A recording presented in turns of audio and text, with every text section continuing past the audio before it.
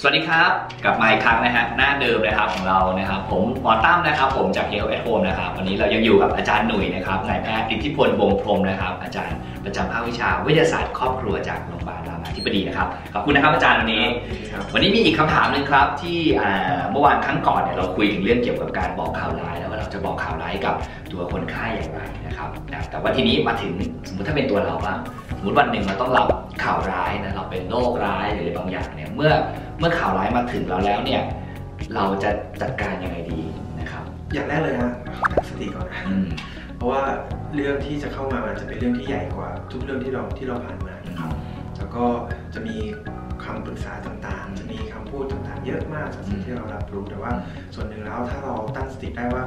ลำดับต่อไปเนี่ยเราต้องทำอะไรต่อเนี่ยครับ อืม แล้วก็มันจะทำให้เราปรับตัวได้ดีขึ้น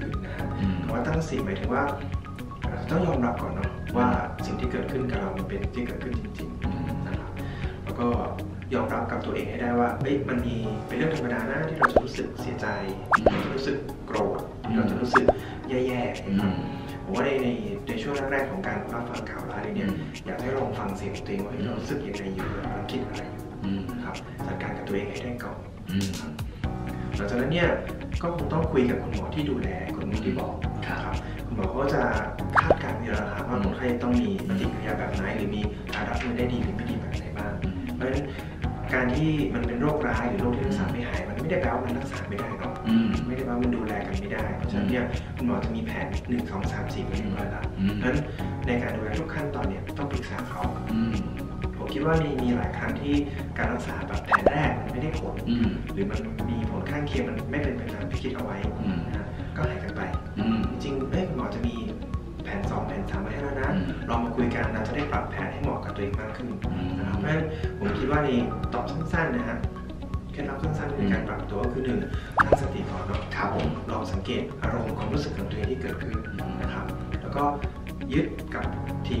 คุณหมอที่ รักษาดูแลไว้เป็นหลักอืมมีอะไรก็ปรึกษาเขาอืมเรื่องเล็กเรื่องน้อยอืมไม่ต้องกังวลฮะถ้าเราให้เขาฟังอืมเราจะได้เป็นข้อมูลในการปรับแผนการรักษาให้เหมาะกับแต่ละคนให้มากที่สุดนะครับอืมโอเคครับตั้งสตินะครับ แล้วก็อย่าลืมปรึกษา